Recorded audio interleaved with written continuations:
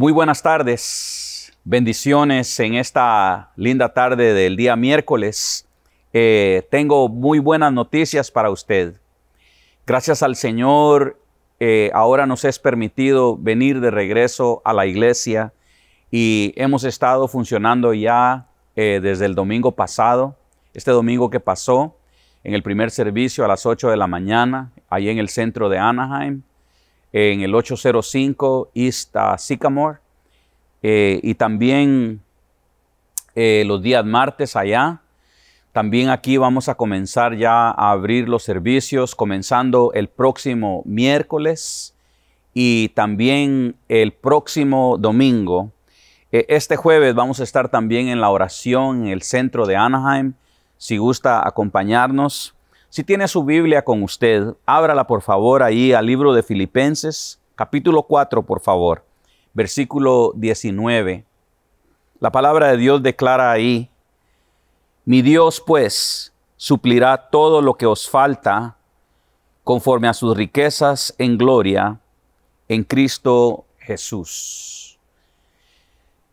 Quite al entrenador y el equipo se vendrá para abajo rompa el tubo conductor de la gasolina y el automóvil no funcionará.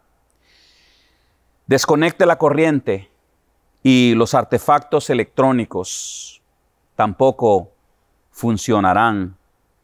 Y esto es cierto de nuestro mundo aquí, pero hay algo también ciertísimo en lo espiritual y es por eso que es importante que nos mantengamos conectados con nuestro Señor, con el cuerpo de Cristo, con su iglesia. Y es ahí donde Pablo declara la firmeza de la palabra. Mi Dios pues, nuestro Dios, suplirá todo lo que os falta conforme a sus riquezas en gloria en Cristo Jesús. Qué hermosas palabras y qué profundidad la que hay en el misterio de la palabra del Señor. Pero así como en la vida real lo que le dije es cierto, así también en lo espiritual. En este momento le quiero invitar para que entremos primeramente en oración y luego en la adoración a nuestro Señor. Bendito Padre que está en los cielos, Señor. En esta linda tarde, Señor, le damos gracias por lo bueno. Gracias, Señor, porque usted promete, Señor, ser nuestro pastor. Como declara David, Señor, el Señor es mi pastor y nada me faltará. Padre, gracias por las palabras de su Hijo, el apóstol Pablo, que también declara las mismas palabras a la iglesia. Las creemos, Señor. Bendecimos en este momento su poderoso nombre. Señor, en este momento nos queremos conectar con usted. Queremos adorarlo. Reciba nuestra adoración, Señor, como aroma grato en este momento. Gracias, Padre. Guíenos, Señor, en el poder de su Espíritu Santo. Amén.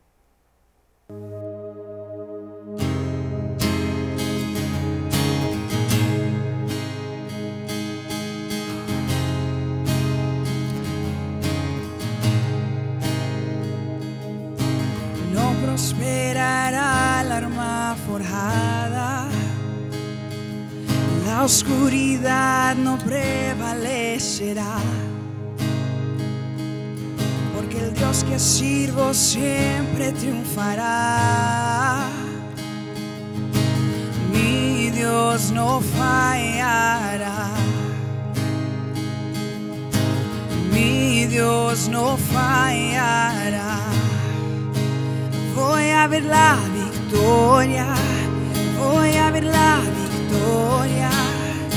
La batalla es tuya, Señor. Voy a ver la victoria, voy a ver la victoria. La batalla es tuya, Señor. Hay poder en el nombre de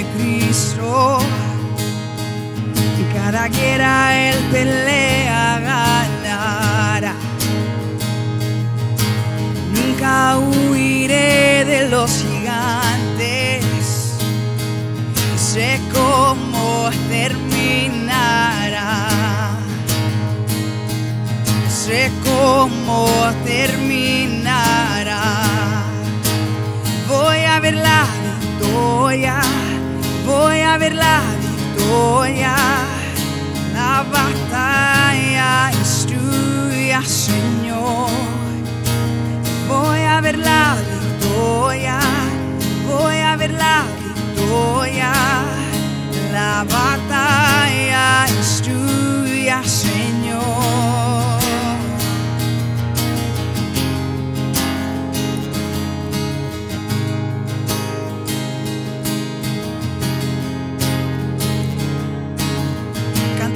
Prosperará y no prosperará la arma forjada. La oscuridad no prevalecerá. Porque el Dios que sirvo siempre triunfará. Mi Dios no fallará. Oh, mi Dios no fallará. Voy a ver la victoria, voy a ver la victoria. La batalla es tuya, Señor. Voy a ver la victoria, voy a ver la victoria. La batalla es tuya, Señor. Voy a ver, voy a ver la victoria, voy a ver la victoria. La batalla es tuya, Señor. Voy a ver la victoria, voy a ver la victoria. La batalla es tuya, Señor.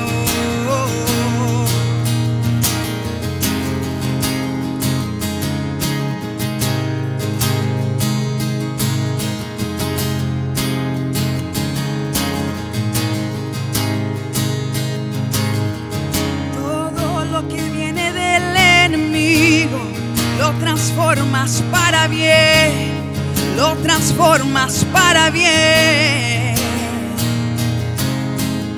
Todo lo que viene del enemigo lo transformas para bien, lo transformas para bien. Todo lo que viene del enemigo lo transformas para bien, lo transformas para bien, sí mi Dios. Todo lo que viene del enemigo lo transformas para bien, lo transformas para bien. Voy a ver la victoria, voy a ver la victoria. La batalla es tuya, Señor. A ver la victoria, voy a ver la victoria. La batalla es tuya, Señor. Voy a ver la victoria, voy a ver la victoria. La batalla es tuya, Señor. Voy a ver la victoria, voy a ver la victoria. La batalla es tuya, Señor. Y todo, todo lo que viene del enemigo, lo transformas para bien lo transformas para bien. Oh mi Dios, todo lo que viene del enemigo lo transformas para bien, lo transformas para bien. Todo lo que viene del enemigo lo transformas para bien, tú lo transformas para bien. Una vez más cantemos todo, todo lo que viene del enemigo, lo transformas para bien, transformas para bien. Y voy a ver la victoria, voy a ver la victoria. La batalla es tuya, Señor. Y voy a ver la victoria, voy a ver la victoria. La batalla es tuya, Señor. Hay poder, hay poder en el nombre de Cristo. Cada guerra que él pelea ganará. Nunca huiré de los gigantes. Sé cómo terminará. Sé cómo terminará.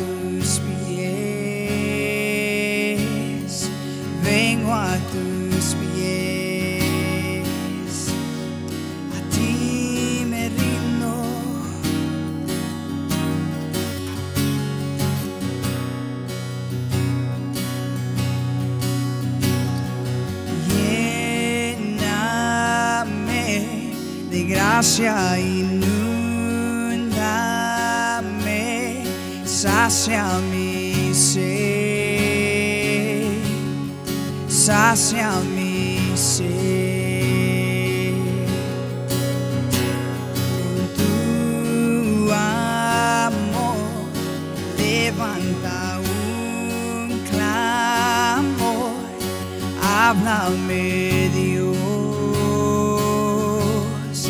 háblame Dios, a ti me rindo, a ti me rindo. Y te quiero conocer, más de ti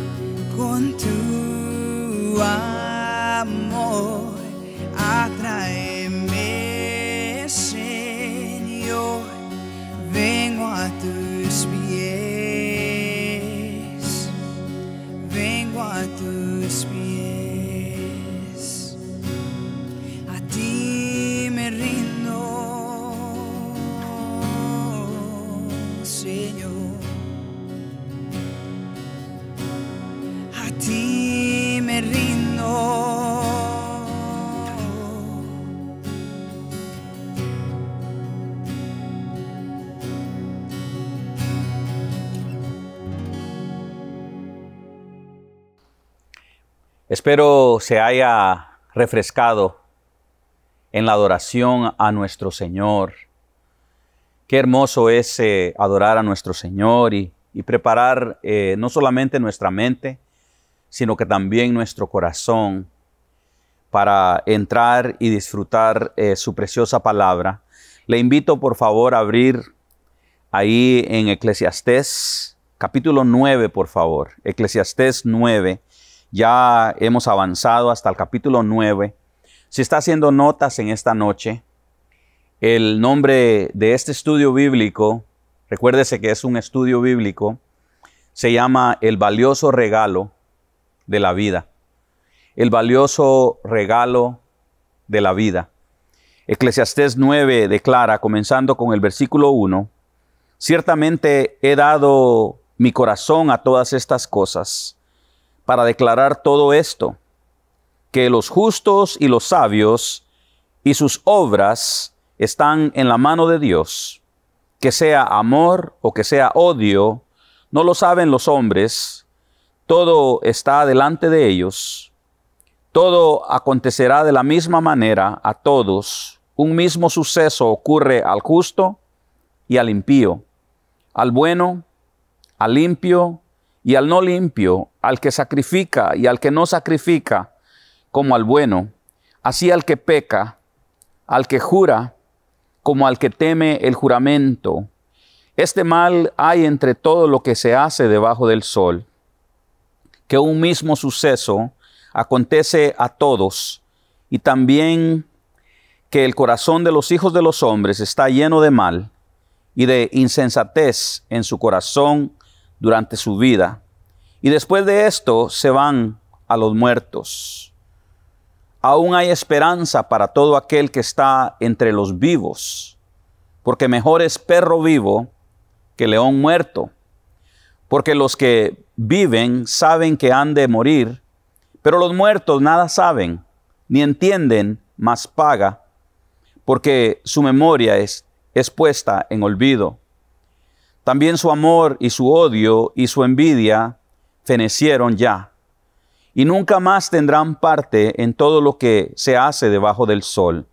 Anda y come tu pan con gozo, y bebe tu vino con alegre corazón, porque tus palabras ya son agradables a Dios.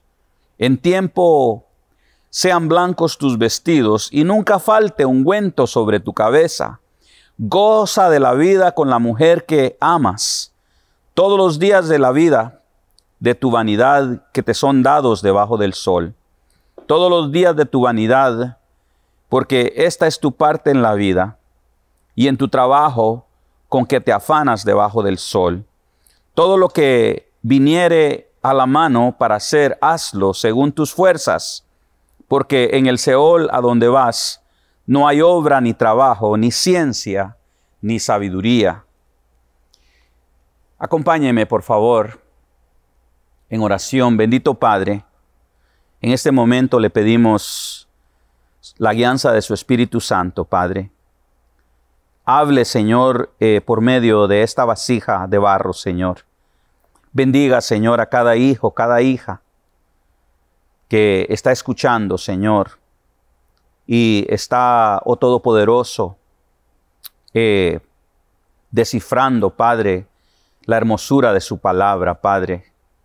Le ruego, Señor, eh, su sabiduría para cada uno de nosotros, Padre. Háblenos, Señor, en el poder de su palabra en esta linda tarde, Padre, en esta linda noche, en el nombre de Cristo Jesús, Señor. Amén. Qué hermosa la palabra del Señor. El famoso poeta inglés John Benjamin escribió un poema llamado Las tumbas del panteón, donde cada persona honesta puede contestar la pregunta, como John describió en su poema, se han inventado muchos nombres para el final de la vida. Nadie quiere confrontar la realidad de la muerte. Cuando un cristiano muere, inmediatamente cambió de dirección y llegó a casa. Este es el tema en el capítulo 9, aquí enfrente de nosotros, la certeza de la muerte y esta hace que todos los logros humanos sean fútiles. Dios tiene un plan para ese destino humano que va más allá de la vida y que va más allá también de la muerte. La realidad del envejecimiento nos lo recuerda. El fin que ha de llegar cuando Dios juzgue la vida en cada persona. Esto es lo que Salomón concluyó en el capítulo 9 y es un capítulo muy profundo si queremos entrar en la bendición de la palabra. Salomón comienza diciendo, ciertamente he dado mi corazón a todas estas cosas para declarar todo esto, que los justos y los sabios y sus obras están en la mano de Dios. Note la búsqueda en la que Salomón entró. En otras palabras, con su vida, con su propio laboratorio, concluyó en la certeza de todas estas cosas. Y recordemos que el libro de Eclesiastés es el libro de la vida. Es el libro donde Dios eligió a este personaje llamado Salomón, el hombre correcto, diría yo, para escribir acerca de la vida. Y se dice que la experiencia de la vida no tiene que ser la nuestra, porque todo tiene un precio para aprender. Y es lindo porque podemos aprender de este libro, podemos aprender de la sabiduría que Salomón nos da por medio de este libro. Y cuando hablamos de la sabiduría, es hermoso saber si queremos probarla. La palabra de Dios, hablando de la sabiduría, dice, la blanda respuesta voltea la ira. Úsela, aplíquela, y usted verá que funciona. Y Salomón dice aquí, ¿verdad? Este, comenzando en el versículo 1 eh, y 2, dice que ciertamente él dio su corazón a todas estas cosas para declarar todo esto, que los justos y los sabios y sus obras están en la mano de Dios, ya sea que es amor o que sea odio, no lo saben los hombres. Todo está delante de ellos. Todo acontece de la misma manera. En un, mismo suceso ocurre al justo y al impío, al bueno y al impío, y al limpio, perdón, y al no limpio, al que sacrifica y al que no sacrifica, como al bueno, así al que peca, al que jura como al que teme el juramento.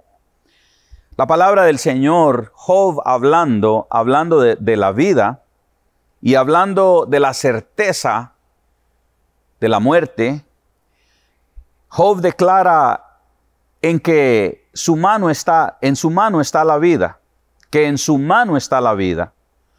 Todo ser viviente. En otras palabras, en las manos del Señor está la vida de todo ser viviente. Y el aliento de toda carne de hombre. No distingue el oído las palabras como el paladar prueba la comida. En los ancianos está la sabiduría y en largura de días el entendimiento. En él están la sabiduría y el poder y el consejo y el entendimiento son suyos. Job 12:10 nos declara esto. Es increíble cuando escudriñamos las escrituras, pero la conclusión que Salomón está teniendo aquí en este capítulo es fenomenal cuando hablamos de este tema. Tal vez este tema es un poco eh, no agradable a nosotros, pero se dice, ¿verdad?, que si no aprendemos este tema acerca de la muerte, nunca vamos a aprender a vivir. Y por eso es importante, importante reconocer quién es el que sostiene en su mano nuestra propia vida, nuestro aliento. El salmista David declara en el Salmo 119, 116, Sosténme conforme a tu promesa, para que viva, y no dejes que me avergüence de mi esperanza. Sosténme para estar seguro y que continuamente preste atención a tus estatutos. Qué hermoso es eh, observar eh, lo que Salomón nos está diciendo y qué real es esto, hermanos, cuando hablamos de este punto. Verso 3 del capítulo 9 de Eclesiastés declara, este mal hay entre lo que se hace debajo del sol, que un mismo suceso acontece a todos y también que el corazón de los hijos de los hombres está lleno de mal y de insensatez en su corazón durante su vida, y después de esto se van a los muertos. En otras palabras, Salomón está hablando del justo, del injusto, del limpio y del que no es limpio. En otras palabras, el mismo suceso nos acontece a todos.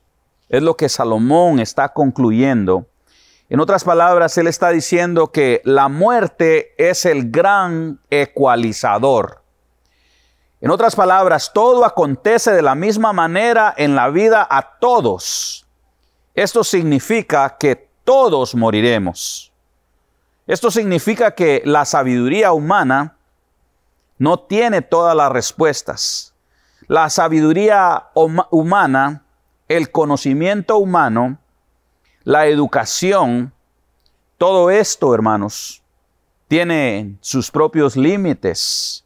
Pero para comprender la vida de lo que Salomón nos está hablando, necesitamos la luz espiritual. Necesitamos la sabiduría que solo se puede encontrar en la palabra de Dios solamente se puede encontrar en el Rey del Cielo, porque Él nos ha dejado este manual, Él nos ha dejado estas direcciones, Él nos ha dejado la brújula, Él nos ha dejado el GPS para estos días, porque Cristo Jesús es el camino. Cristo Jesús es la puerta correcta, el camino correcto para poder llegar al Padre. Y qué importante es reconocer lo que Salomón está diciendo aquí en la profundidad de este misterio, de estos versos. Verso 4 dice, aún hay esperanza para todo aquel que está entre los vivos, porque mejor es perro vivo que león muerto. Está escuchando el contraste de un león y de un perro. ¿Cuál es mejor? Si nos dicen, te regalo un león muerto o un perro vivo, Salomón dice, escoge, el perro, porque el león ya de nada te sirve. Bueno, al menos, ¿verdad? Que le quiera quitar eh, el cuero y venderlo. Pero por lo menos el perro nos ayuda a cuidar la casa. Eh, nos sirve de alarma, nos sirve de protección. Pero Salomón declara en este verso que aún hay esperanza para, para todo aquel que está vivo. En otras palabras, la palabra de Dios dice que todo aquel que clame al Señor, imagínese, en arrepentimiento, es escuchado. Todo aquel que viene al Señor, el Señor de ninguna manera nos desecha. Y es importante pensar, no solamente en el día de hoy, sino es más importante pensar en el día de hoy, en el día de mañana. Y hacer lo bueno sembrar lo bueno para que en el día de mañana podamos cosechar lo bueno. Es lo que Salomón nos está diciendo. Eh, hablando de la muerte y de la vida, hablando del león y del perro, Woody Allen, este famoso artista, dijo que dijo, yo no tengo miedo de morir, pero no quiero estar ahí cuando suceda. La muerte, hermanos, recordemos, no hace acepción de personas. No ve si la persona es millonaria o la persona es por diosera. En otras palabras, la palabra de Dios dice en Hebreos 9:27, así como está, está decretado que los hombres mueran una sola vez y después de esto, el juicio. Qué importante reconocer lo que Salomón nos está diciendo aquí. El propósito de Salomón es forzarnos a pensar, es forzarnos a tomar buenas decisiones hoy para estar preparados para el día de mañana. Porque donde hay vida, hay esperanza. Note lo que Jeremías habló acerca de la esperanza. Lamentaciones 3:21 dice, esto traigo a mi corazón por esto tengo esperanza, que las misericordias del Señor jamás terminan, pues nunca fallan sus bondades. Son nuevas cada mañana. Grande es tu fidelidad. El Señor es mi porción, dice mi alma. Por eso en Él espero. Bueno es el Señor para los que en Él esperan, para el alma que le busca. Bueno es esperar en el silencio la salvación del Señor. Qué tema tan grande esto. Verso 5 dice, porque los que viven saben que han de morir, pero los muertos nada saben, ni tienen más pago, porque su memoria es puesta en olvido. Y qué realidad tan grande la que tenemos aquí en este capítulo. Hablando de la luz de la vida y de la muerte, el Hijo de Dios, Cristo Jesús, nos habló una parábola del rico y Lázaro. Ella está ahí en el Evangelio de San Lucas, capítulo 16, comenzando con el versículo 17, 19, perdón. Pero quiero llevarlo al versículo 22, Evangelio de San Lucas 16, 22. Puede leerlo si quiere todo en la tranquilidad de su casa. Jesús declaró esta verdad hablando de la vida del presente y hablando del futuro. Recordemos que Jesús nos habló más del infierno que del cielo. ¿Por qué?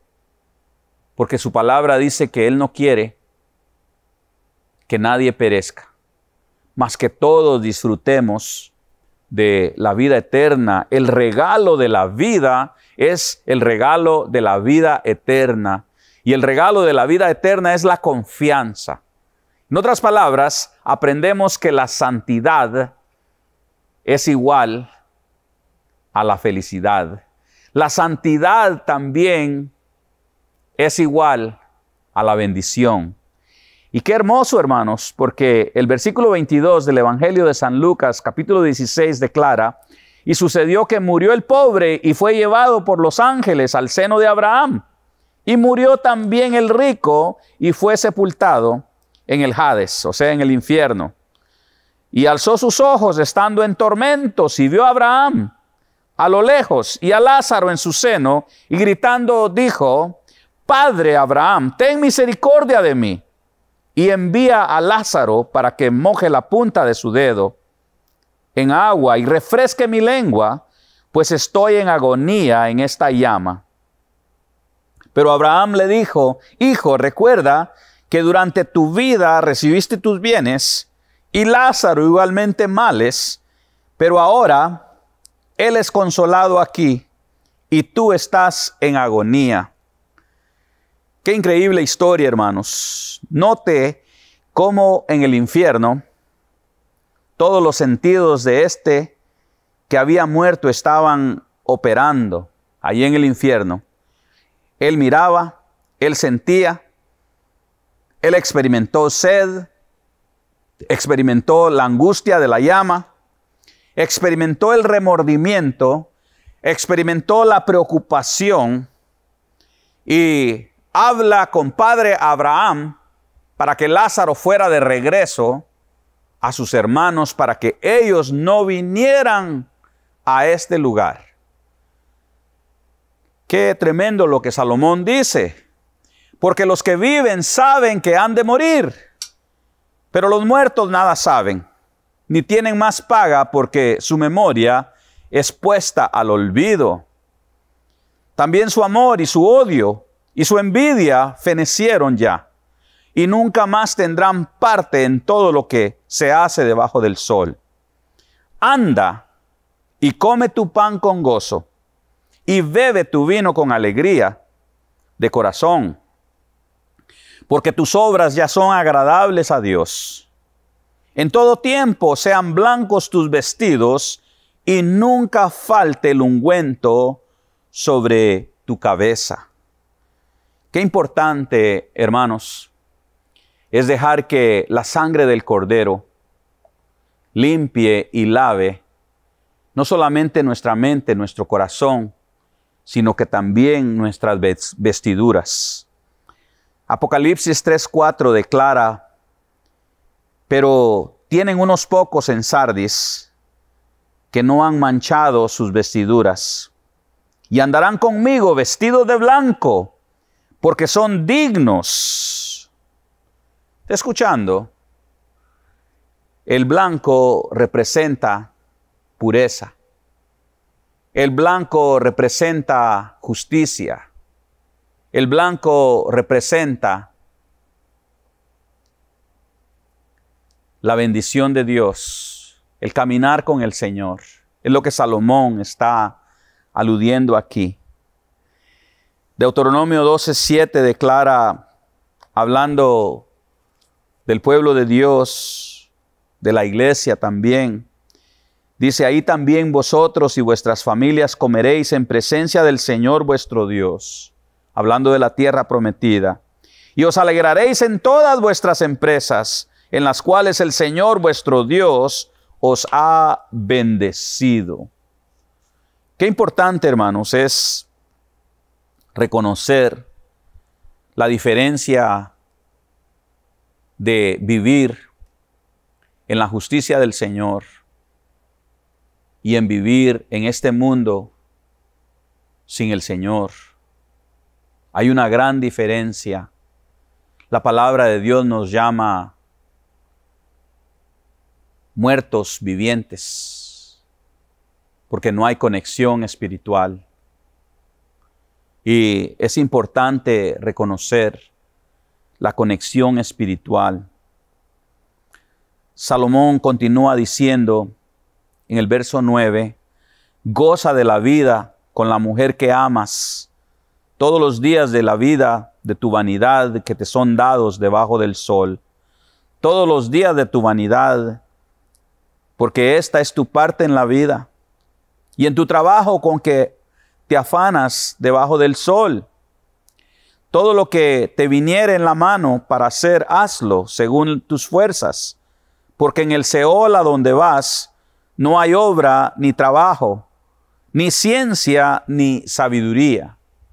¿Se está dando cuenta de el conocimiento intelectual que Salomón tenía acerca de lo que está hablando?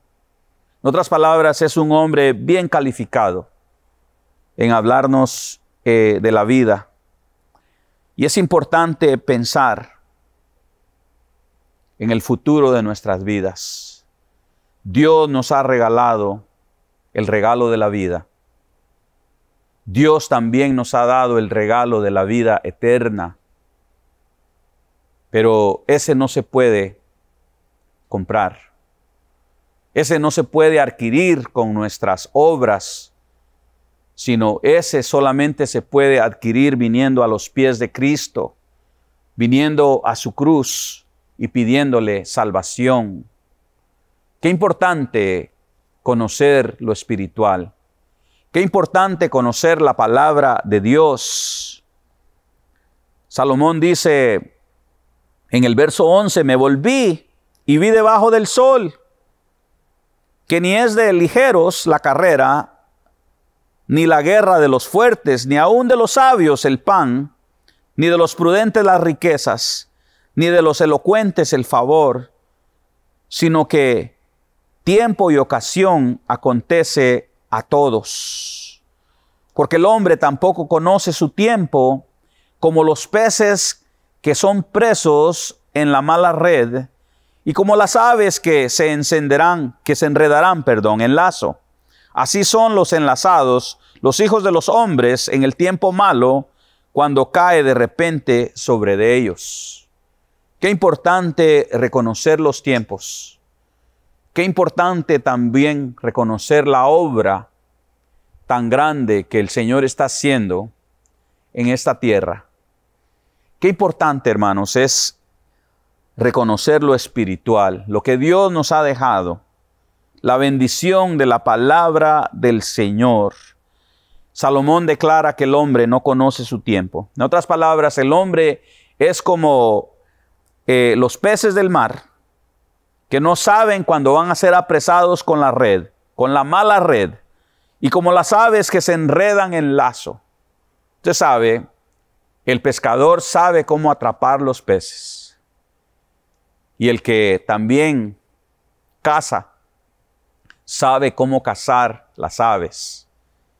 Hay un cazador que caza almas.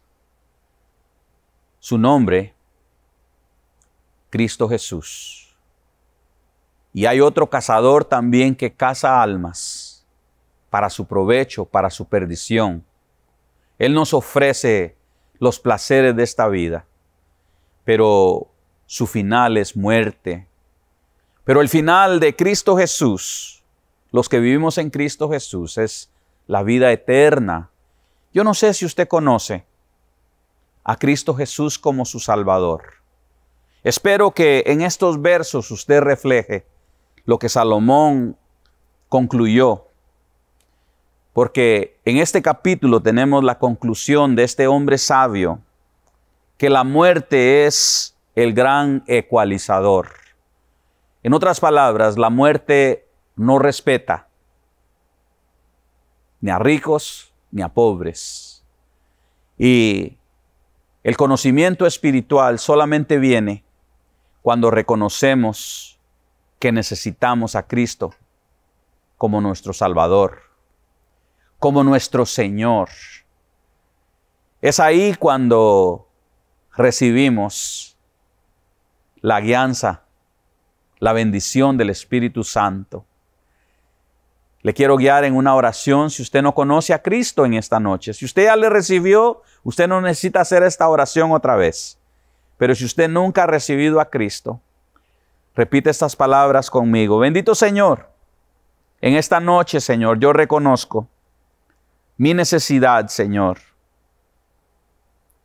en ti. Te abro la puerta de mi corazón te confieso mis pecados, Señor. Perdóname.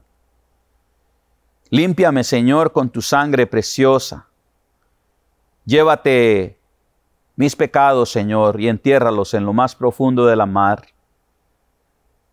Y lléname, Señor, en esta noche de tu Espíritu Santo. Te necesito, Señor. En el nombre de Cristo Jesús, Padre. Amén.